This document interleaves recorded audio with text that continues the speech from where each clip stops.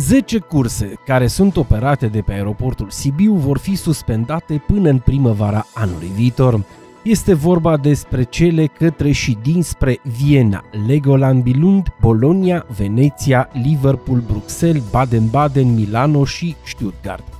Cursele către München vor fi reduse de la 13 curse săptămânale la 8. Decizia a fost luată de companiile aeriene din cauza variantei Omicron, dar și a faptului că în perioada de iarnă rezervările sunt reduse au apărut primele suspiciuni de infectare cu varianta Omicron din Sibiu.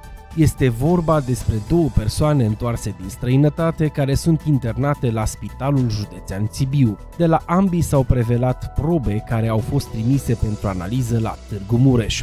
Este vorba despre o femeie, o medieșancă de 54 de ani care s-a întors din Anglia și de un sibian de 33 de ani întors din Italia. Ambii sunt vaccinați cu 3 doze, dar se află internați la spitalul județean.